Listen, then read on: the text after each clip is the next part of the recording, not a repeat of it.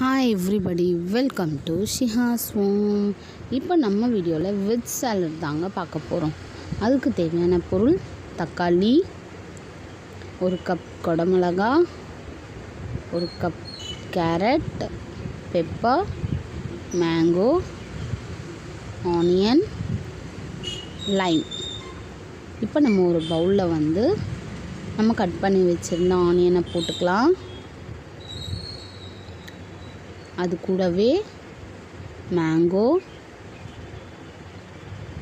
அது கூடவே தக்காளி குடமிளகா கேரட் இப்போ எல்லாம் போட்டு நல்லா மிக்ஸ் பண்ணிக்கலாம்.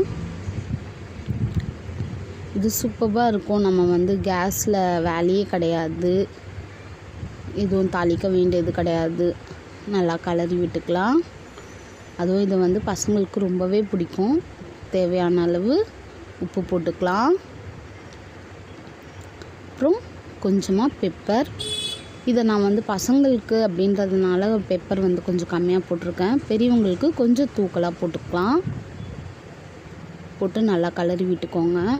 நம்ம எல்லாமே அரிஞ்சு கொடுத்தோம்னா பசங்களே செஞ்சுடுவாங்க.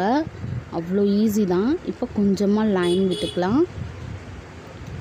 ஏன்னா மேங்கோவில் ஆல்ரெடி புளிப்பு இருக்குது இப்போ நான் லைட்டாக தான் போட்டிருக்கேன். இது ரொம்ப செம்ம ஈஸியான டிஷ் தான் இது வெஜ் சாலட் நம்ம ஸ்நாக்ஸ் பாக்ஸில் கூட பசங்களுக்கு இதை கட்டி கொடுக்கலாம். இப்போ நான் ஒரு பவுலில் போட்டுக்கிறேன். நீங்கள் ஒன்ஸ் நீங்கள் உங்கள் பசங்களுக்கு செய்ய கொடுத்துட்டீங்கன்னு வைங்க இதையே கேட்பாங்க. நீங்களும் வீட்டில் ட்ரை பண்ணுங்கள் உங்கள் பசங்களுக்கு செஞ்சு கொடுங்க.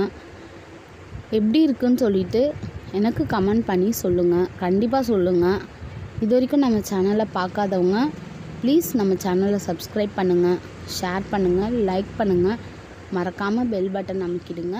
Thank you viewers